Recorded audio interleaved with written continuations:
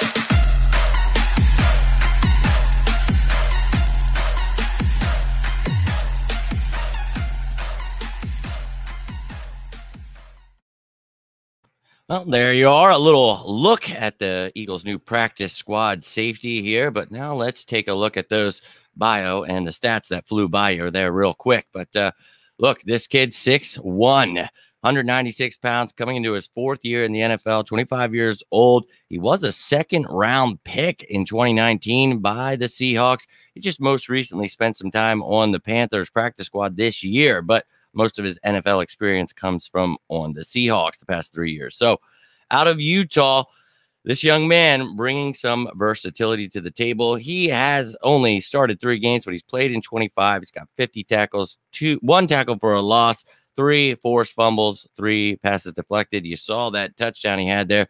Not sure if that was uh, preseason, whatever, but uh, yeah, this kid, you know, um, things I was reading about him, he is a box safety, a free safety. He can move all around the place, and he's a hard hitting dude. And that is something that we need desperately. So, right now, he's on the practice squad. He would have to earn himself a spot on the active roster, but none of the safeties we have uh, seem to be coming out to knock anybody's heads off. Now, love what CJ Gardner Johnson and Marcus Epps are able to do, but we're talking about depth pieces here. So, uh, a guy like this, maybe you want to try him out a little nickel work, you know, with these versatile defensive backs. That's what the Eagles have been doing. So I'm sure this guy will get his chance. And again, a former second round pick, and all you're doing is adding him to the practice squad. So I'm all about it. Maybe you elevate him, maybe he makes his way onto the active roster.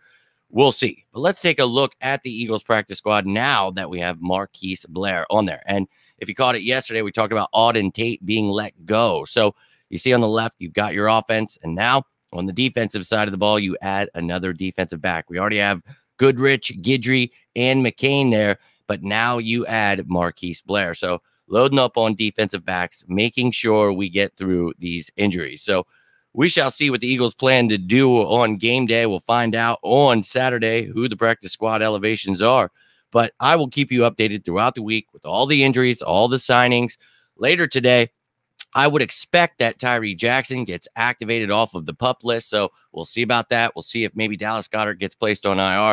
If any of those things happen, I will be dropping a video on that, but I will be live later tonight, live for Behind Enemy Lines, breaking things. I hope so. I'm pretty positive it will be live. If not, I apologize now, but uh, I'll see you guys later. And until then, I'm Jimmy Smith, and this is on the road to victory. You have yourselves a great day, and as always, birds!